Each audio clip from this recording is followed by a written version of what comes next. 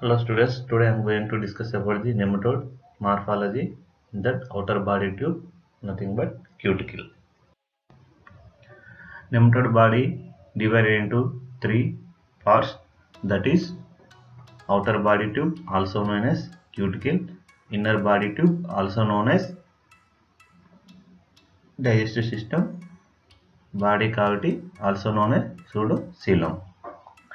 Outer body wall again divided into three parts. That is cuticle hypodermis and muscle layer.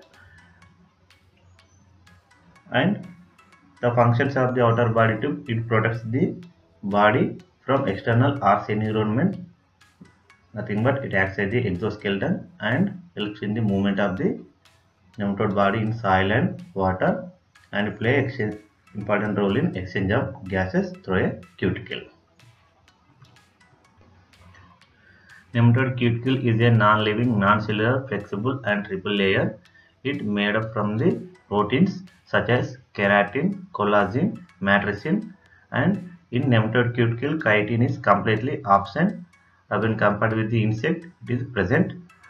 During each molting, chitin will shed and it acts as the exoskeleton, helps in the growth of the nematode and regulates the inner, internal ions permeability. It covers the entire body and slides the esophagus, vulva, anus, excretory pore, sensory organs, stylet and copulatory spicule. On outer side of the cuticle, it has a markings known as the cuticular markings. This helps in identify the nematodes and it is divided into three zones. That is cortex also known as cortical layer matrix also known as homogeneous layer fibrillar also known as basal layer. Cuticular markings are divided into different types. They are punctuations transverse markings and longitudinal markings.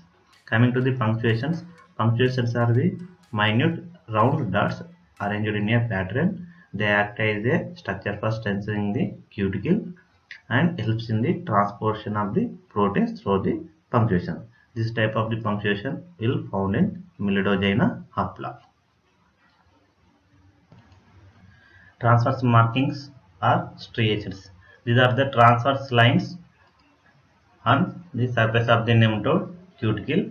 These are also known as transverse grooves.